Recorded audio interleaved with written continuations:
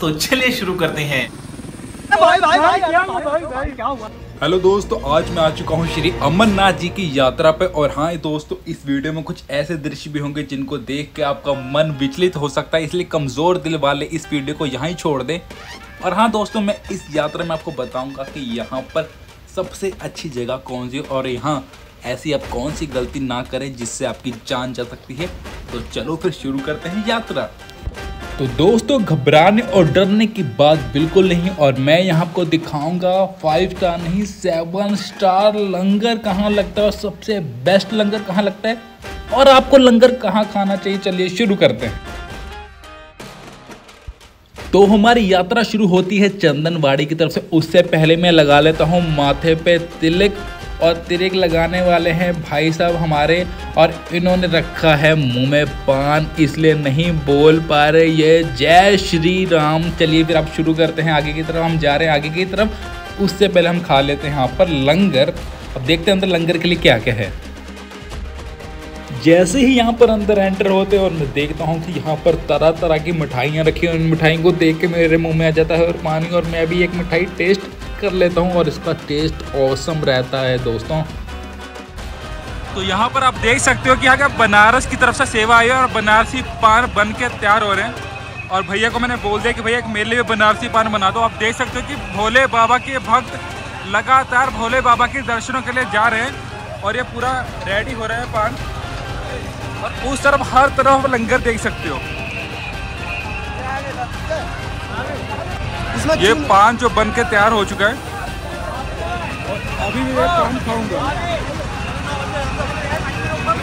काफ़ी ज़्यादा टेस्टी पान आप देख सकते हो।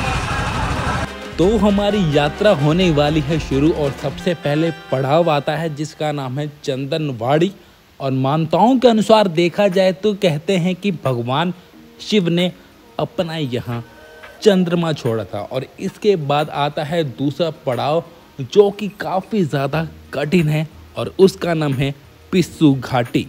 मान्यताओं के अनुसार देखा जाए, कहते हैं कि जब देवता और राक्षसों के अंदर अमृत पाने के लिए युद्ध हुआ था तो उन राक्षसों की ही लाशों से इस पर्वत का निर्माण हुआ।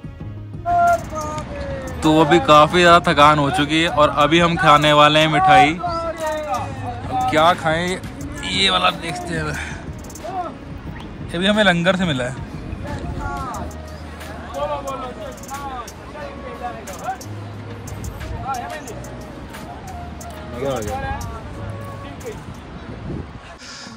देखो दोस्तों, आप सबको लगता है कि ये यात्रा इजी है।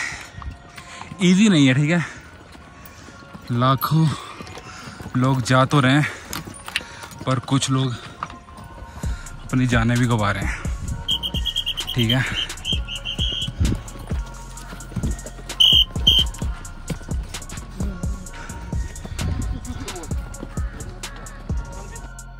इसके 10 मिनट बाद मैं देखता हूँ कि वहाँ से एक और लाश आ रही है।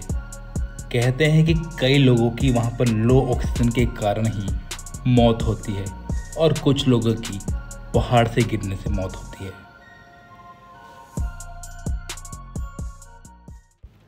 तो दोस्तों, जैसे ही हमारे पिस्सू टॉप की चढ़ाई ख़त्म होती है और मैं देखता हूँ कि वहाँ पर एक और भंडारा हमारा इंतज़ार कर रहा होता है। और मैं भी यहाँ पर भंडार में लंगर खाता हूँ और भोले बाबा से दुआ माँगता हूँ कि भोले बाबा, सब सुख शांति से अपने घर वापस जाएँ। और यहाँ पर अलग अलग तरह की मिठाइयाँ रखी हुई हैं और मैं भी अलग अलग तरह की मिठाई खा खा के परेशान हो गया हूँ, पेट भर गया है, लेकिन मन नहीं भर रहा कि आगे अब क्या खाऊँ। उसके बाद मैं खाऊँगा मोमोज। मोमोज भी सच में बहुत ही ज़्यादा टेस्टी थे। क्या बताऊँ इसका टेस्ट मैं आज भी नहीं भूल पा रहा। बस खाली यही पार करना है। फिर आगे बैठाना तो चलो फिर दोस्तों आप भी मेरे साथ यात्रा करो और मैं आपको यहाँ की कथा सुनाता हूँ। पहलगांव चंदनवाड़ी शेषनाग झील गणेश टॉप आखिर इनके पीछे क्या कहानी है? तो कहानी की यहाँ से शुरुआत होती है एक और महादेव और माँ पार्वती एक जगह पर बैठे होते हैं। पार्वती माँ महादेव की गर्दन की तरफ़ देखती हैं और कहती हैं कि आपने ये नरमुंड की माला गले में क्यों पहनी है? महादेव कहते हैं कि जब भी तुम्हारा पुनर्जीवन होता है तो इस माला के अंदर में एक मुंड जोड़ लेता हूँ। और पार्वती माता कहते हैं कि ऐसा क्यों है कि मेरा ही पुनर्जीवन होता है और आप अमर हो। महादेव कहते हैं कि इसके लिए तुम्हें एक अमर कथा सुननी होगी। फिर पार्वती माँ जिद करते हैं कि उनको भी इस अमर कथा के बारे में बताया जाए। तो आप अभी मेरे पीछे देख पा रहे हैं, ये है शेषनाग झील। और कहते हैं कि यहाँ पर आज भी शेषनाग जी की परछाई देखने को मिलती है। मानताओं के अनुसार देखा जाए, कहते हैं कि भगवान शिव ने यहाँ ही अपने नाग को छोड़ा था। और आप देख सकते हो कि सर्दियों में ये पूरी झील जम जाती है और जब इसको एक साइंटिफिक तौर पर देखा जाए तो साइंटिस्ट भी हैरान है कि इस झील में कुछ चमत्कारी तत्व पाए जाते हैं जो बाकी झीलों में नहीं पाए जाते हैं। और इस झील का जन्म कब हुआ? साइंटिस्ट आज भी इस झील का पता नहीं लगा पाए और आप देख सकते हैं कि ये पूरा यहाँ का टोटल व्यू कैसे का है। अभी हम धीरे धीरे आगे की तरफ़ बढ़ रहे हैं। रास्ता काफ़ी ज़्यादा बारीक और टाइट होता जा रहा है। भाई भाई भाई क्या हुआ? भाई भाई क्या हुआ? अब जैसे जैसे मैं आगे बढ़ता जा रहा हूँ डिफिकल्टी और भी बढ़ती जा रही और मेरी हिम्मत लगातार टूटती जा रही लेकिन मैं महादेव की एक ऐसी लीला देखता हूँ जिसे देखकर मेरे अंदर दोबारा ताकत बढ़ जाती है। अभी जो हम शेषनाग जी की गुफा अभी जो हम शेषनाग जी की चढ़ाई से बबल टॉप की तरफ़ जा रहे हैं। और यहाँ सबसे ज़्यादा हाइट है और कम ऑक्सीजन लेवल का सामना करना पड़ता है। अभी हम इस यात्रा के सबसे टफ पैच पे हैं। जय बाबा बोले। हर हर महादेव। काफ़ी मुश्किल हो गई चढ़ाई है हैं, छोटी वाली है फ्रूटी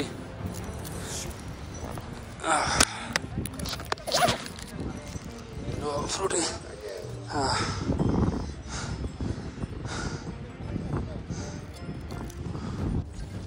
अभी काफ़ी चलने के बाद कुछ लिक्विड ले लिया जाए, क्योंकि बॉडी काफ़ी ज़्यादा हाइड्रेट हो रही है।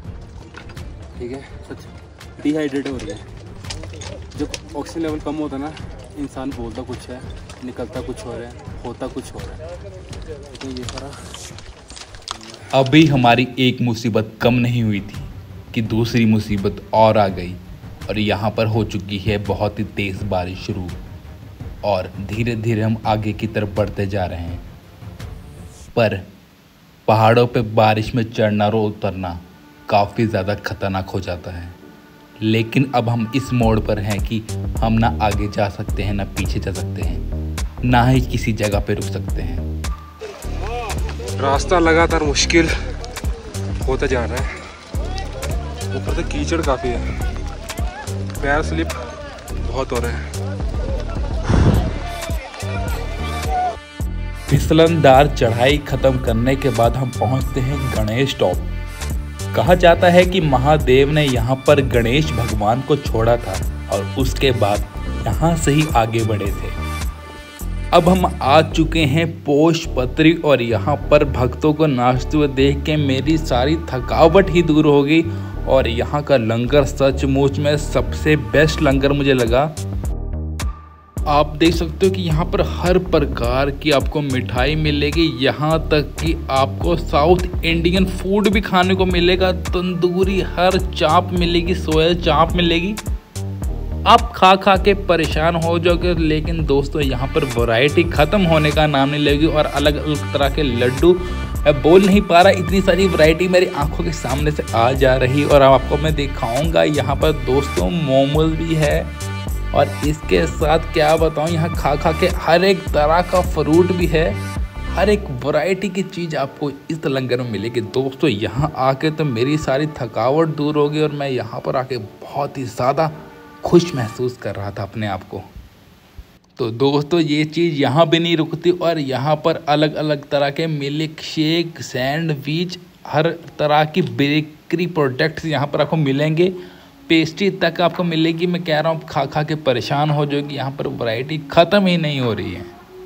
अभी रुको, यहाँ पर है फ्री मसाज सेंटर और यहाँ पर आपको मिलेगी फ्री मसाज और जितने भी भक्त यहाँ पर आके थक चुके हैं, उनकी यहाँ पर फ्री में मसाज होती है और ये पाँच मिनट तक मसाज मशीन करती है। अब जा रहे हैं, हम अंदर की तरफ़ दिखाता है कि अंदर का कैसा का माहौल है और अंदर क्या सिस्टम है। तो मैं भी अब मसाज ट्राई करूँगा। चलो फिर, हमारी भी मसाज होने वाली है, शुरू अब हम करने वाले हैं। थोड़ी ही देर में मशीन ऑन और ये कर दी है, सारे लेवल पार और मशीन ने कर दी है हमारी मसाज स्टार्ट सचमुच में बहुत ही ज़्यादा रिलैक्स फील हो रहा है। और मज़ा तो काफ़ी आ रहा है। अब हमारी मसाज होने वाली ख़त्म। अब हम यात्रा दोबारा शुरू कर रहे हैं। अब निकलते हैं आगे की तरफ़।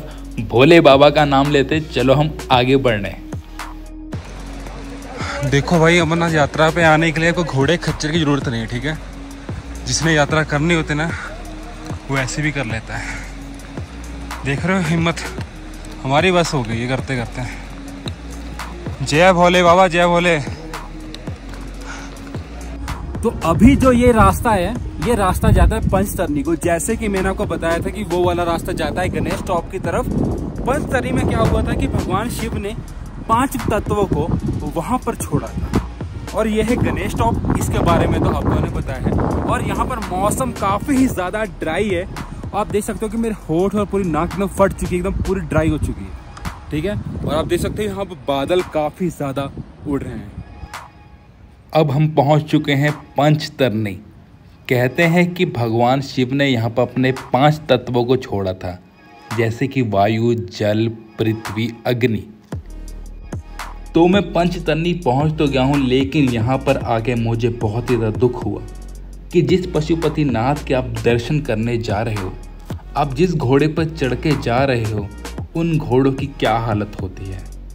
चलो फिर आपको मैं दिखाता हूँ कि आपकी यात्रा ये घोड़े करते हैं और इनकी हालत क्या हो रही है? इस पे कृपया गौर कीजिए और ये बात सरकार तक ज़रूर पहुंचाइए।